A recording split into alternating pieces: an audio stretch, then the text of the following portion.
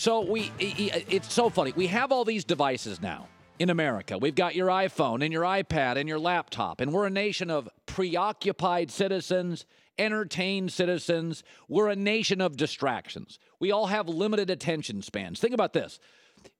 If you have a friend and a friend comes up to you and says, Hey, hey, hey, you got to see this on my phone. If an ad pops up for 15 seconds, you're like, Nah, I don't have time or it takes like five seconds to download it. Come on, come on, get to, come on, come on, get to the. What? That's what we've become. Netflix. I get TV shows when I want them, and I'll watch the whole season now. I'm not going to wait a week to watch my. I want to watch all of them now. Uber. I want a car now. Go to my phone. I want a car right now. Right, right now. And so we're a nation of short attention spans. We're preoccupied. We're distracted. We you inform read a newspaper. I want information on my turn. I got to get to my phone and get to my story on my terms. Nobody's patient. Nobody takes a breath. Nobody enjoys the process. Nobody enjoys the process anymore. Just get me to the finals. I don't want anything.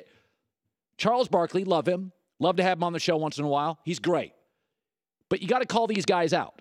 I called out Michael Jordan yesterday. I'm calling out Charles Barkley today, and I love Charles Barkley. But Charles Barkley's talking about NBA parity, and the NBA season starts tonight. And Charles says, toughest thing for me is to have to go on TV and fake it for seven months, that it's not going to be the Warriors and the Cavs in the finals again. Well, excuse me, from 1980 to 89, Magic's Lakers and Larry Bird Celtics, there was never a final in the NBA without both of them or one of them for nine years. And that was the NBA's coming out party. Lakers and the Celtics dominated the league for nine years. They were in the finals every year. We celebrated it. Michael Jordan's last six years playing a full season for the Bulls. They won it every year, highest ratings ever. By the way, in the 70s, when nine different teams won, lowest ratings ever. We are a spoiled nation. Think about the Chicago Cubs. The Chicago Cubs won the World Series. They already feel less special today. It took them 100 years to win a World Series, and now we're like, all right, kind of hope the Dodgers beat them. Half the country's like not into the Cubs now. What? You wait 100 years, you win now? Okay, what's new? Okay, you won. Give me something else. I want something else. People want everything immediately. We are a microwave nation. An oven? Bake a potato? It takes 42 minutes. You ever thought how healthy a microwave is? You think a potato should be cooked in four minutes, six minutes, eight minutes? I think it's probably healthier, you know, in an oven. Someday they'll discover that drinking milk and microwaves were not good for us. The study's coming, I guarantee you. But from delivery services to Netflix to iPhones to Uber, the Kevin Durant, Steph Curry Warriors, according to Charles Barkley and others, oh, boring. We're just going to sit around and. I went to the over unders in Vegas. There are 10 teams, according to Vegas, that are going to be at 50 wins or more, that are either pushing 50 or more. Warriors, Celtics, Rockets, Spurs, Cavs, Thunder, Raptors, Timberwolves, Bucks, Wizards. These teams all have a chance to win more than 50 games. By the way, there's no team they predict to be in the teens. In Michael Jordan's year in 98, six NBA teams won fewer than 20 games. Can we sit back and enjoy something? I, college football was great Saturday. I know Alabama's probably going to be in the final. Take a deep breath. Enjoy the journey. Enjoy the process. By the way, Kevin Durant and Steph Curry both have a history of injuries. If Kevin Durant, who's already, by the way, missed games due to an injury in Golden State, if he if he gets hurt, they're not winning the final. If Steph Curry gets hurt, I don't think they're winning the final. So the NBA season uh, starts tonight, and um, let me just say this: is you know Michael Jordan and Charles Barkley. The NBA is no good. We know who's going to win the games. The NBA is not good. This is terrible. NBA is great. Ten teams, a third of the league. In Vegas, they got them at 48 wins or more. We got two teams that could win in the 60s, many that will win over 55. And two of the rebuilding teams that won't be great, the Sixers and the Lakers, are very, very interesting. I can't wait to watch Ben Simmons, and I can't wait to watch Lonzo Ball. But the centerpiece of this league now, it was LeBron for about 12 years. Um, but the Golden State Warriors have now eclipsed LeBron as sort of the talking point of the league. We think.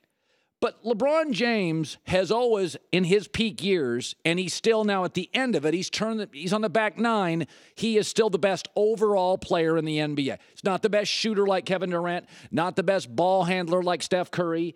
Maybe he doesn't on both ends give you the effort he used to like Kawhi Leonard. He's not as dynamic athletically as Russell Westbrook, and he probably won't win the championship, though he may be. He is still the man in the NBA. So as the season starts tonight, Forget Nike. We release our 2017 2018 LeBron video. LeBron, I know you hate to lose in those finals. Were so painful for you, you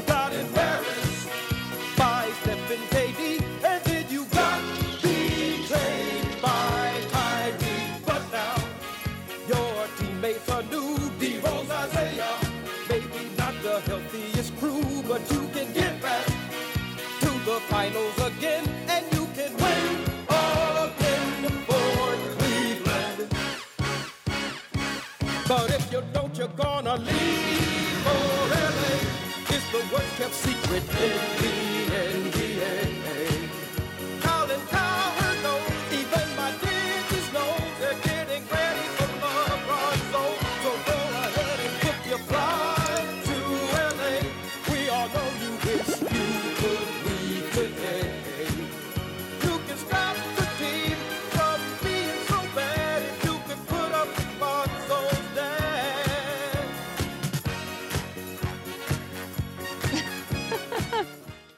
That is the definitive LeBron James video of 2017 and 2018. And I will tell you, uh, uh, Kristine and I have both been fans of player mobility. And I, I think sometimes all of us, I'm guilty of this. We're fear based. Don't do this. Don't do that. Keep it the same. Well, I, I, you know, I have my eggs or my oatmeal every day for breakfast. I'm a creature of habit. I'm more comfortable with habit. I go to bed same time. I get up same time. My wife and I stayed up to 11:30 the other night. We looked at each other. I mean, we laugh. We're like, oh my god, we're rock stars. I mean. we- but I will tell you this the player mobility is adding tremendous anticipation. You've got Oklahoma City look dead. Now they're captivating with Paul George and Westbrook and Carmelo. It's really going to be interesting. And Chris Paul was with the would the Clippers be honestly, isn't Chris Paul more interesting with Houston than he was again in that weird chemistry deal with the Clippers? Wouldn't the Lakers be fascinating with LeBron? Or do you want to watch him for the next eight years in Cleveland? We are all in the interesting business. And the NBA right now is becoming the NFL. It used to be the NFL was the only sport in America where we would talk about it in the off season. We talked NBA until August 3rd this year. I wrote it down. It is now mid October. The NBA has become a 10 month sport of drama, of some divas, of some dynasties, of storylines. Player mobility actually works in this millennial age of iPods and iPhones, and because we have short attention spans. So the minute you get bored with something, oh, Westbrook's got new teammates. Steph Curry's got a new teammate. Oh, D Rose and D Wade, LeBron's got two new teammates. And Jae Crowder. Oh, Kyrie Irving's now with Boston. In the millennial age, it's short attention spans. And what's really happening is you're creating these new teams every year. By the way, why do we get up so upset with it? NFL teams change their roster by a third every year. New England had like 15 people. It's what makes the NFL interesting. You can go from bad to interesting, bad to good. Major League Baseball, acquisitions all the time. Soccer players move around internationally, domestically. The NBA is absolutely, inarguably more captivating with player movement. And don't tell me dynasties aren't interesting because in the 70s, nine different teams won the title.